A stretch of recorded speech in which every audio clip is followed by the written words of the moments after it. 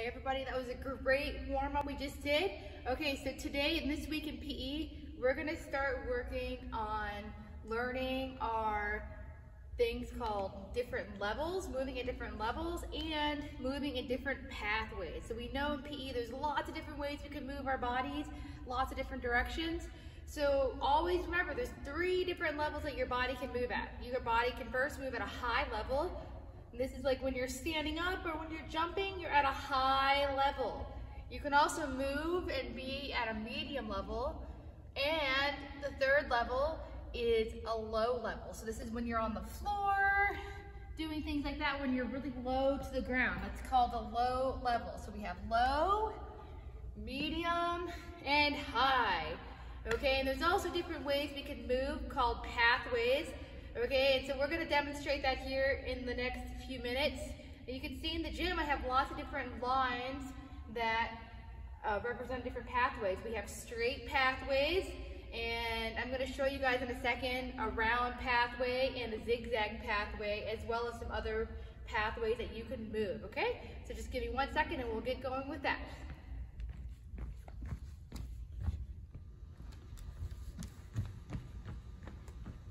guys, Coach here. So we're gonna be working on moving in different pathways. So you can see in the gym, it's really easy to find the different pathways, which today we're gonna be working on moving in a straight pathway. We're gonna be working on moving in a curved or round pathway, and we're also going to be working on moving in a zigzag pathway, okay? So in, in the last video, we talked about how we move at different levels. We move at a high level, a medium level, and a low level.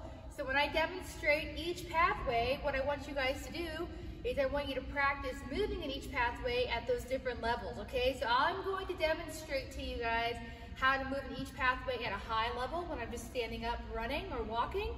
And then what you guys can do, you could practice doing it at a high level.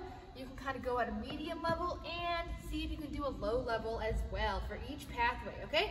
So the first pathway I'm going to demonstrate to you guys, and you guys can make your own pathways where you are at home, whether you're outside in your yard or in your living room. Try to use your imagination and see if you can come up with a safe way to make a pathway to practice these on, okay? So for the first pathway we're gonna do, this is the straight pathway. So I'm just gonna pick a line, I'm gonna pick this red line here, and I'm gonna move, I'm just gonna walk in a straight pathway, okay? So here I go, I'm just gonna walk in a straight pathway, another line, this blue line, and I'm gonna walk in a straight pathway here. So you guys can also run, you can walk, you can skip, you can hop, you can jump, and we're gonna be doing those movements next time, and we'll practice doing the locomotor movements in the different pathways as well. Okay, so that was a straight pathway. The next pathway we're gonna work on, behind me we have this red line, this basketball three-point line. This is called a curved pathway. So I'm going to, again, I'm going to walk the curved pathway so you can see. All right, so I'm just going to walk, and curve, blue line, just like this. Okay, I found another curved pathway. Curved pathways, nice job, okay? And the last pathway we're gonna work on today is the zigzag pathway. So you can see I have some spots here on the floor and I'm going to just demonstrate how to move in a zigzag pathway fashion. So it looks like this, okay? You're gonna go like this, go to the side, zigzag, zigzag, and then come back.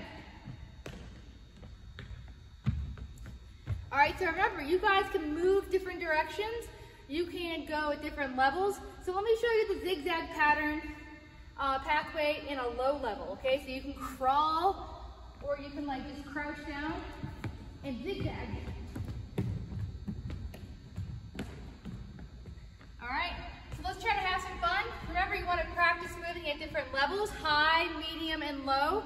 And try to work and see how many creative different ways you can work on moving in those pathways, okay? Hope that's fun.